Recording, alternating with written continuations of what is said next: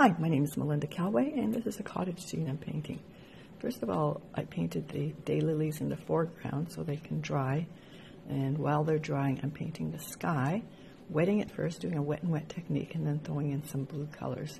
And while it's still wet, I'm going to be painting the trees that are furthest away from us, so they're in the background or midground, and painting them wet in wet, they stay lighter and I'm coming forward and painting the trees closest to us, a little bit darker in value, which gives us that illusion of depth or atmospheric or aerial perspective.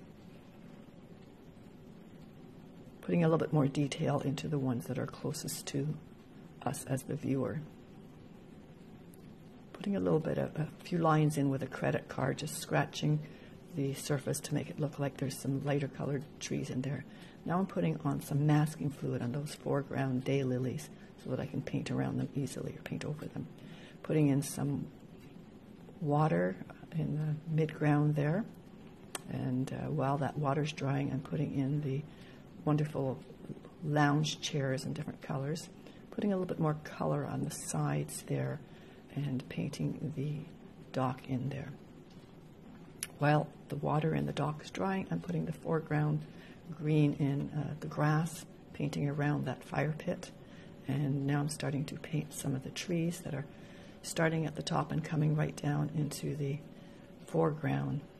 Taking my time doing these trees, putting a lot of detail in them because they're close to us and want them to look interesting and interesting shapes with interesting negative and positive spaces within them. And there's quite a few trees along the side there. Some of them are uh, lighter in value. Some of them are not as light in value in reality, but I'm putting them light as artistic license to differentiate between the different trees. And this is a tree on an island in the background, which I really quite like, so I'm painting that in. And the foreground trees. The little boat and some of the uh, docks in the background, the floating rafts. A little foreground tree.